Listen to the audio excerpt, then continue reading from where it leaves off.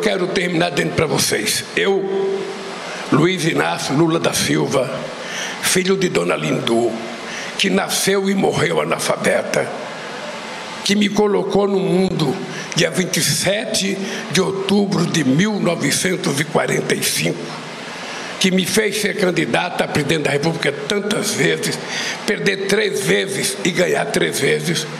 Quero dizer para vocês que, da mesma forma que eu disse quando estava preso, que não aceitava acordo para sair da cadeia, porque eu não trocava a minha dignidade pela minha liberdade. Eu quero dizer para vocês agora, eu não troco a minha dignidade pela falsidade. E quero dizer para vocês que eu sou favorável à criação do Estado palestino livre e soberano.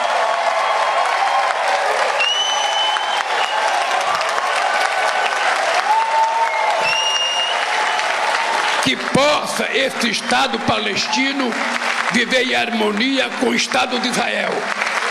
E quero dizer mais: o que o governo de Israel está fazendo contra o povo palestino não é guerra, é genocídio, porque está matando mulheres e crianças.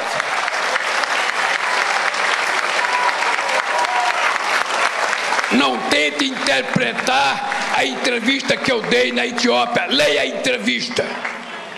Leia a entrevista ao invés de ficar me, me, me, me julgando pelo que disse o primeiro-ministro de Israel. É um genocídio.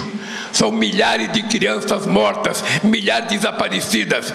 E não está morrendo soldado, está morrendo mulheres e crianças dentro do hospital. Se isso não é genocídio, eu não sei o que é genocídio.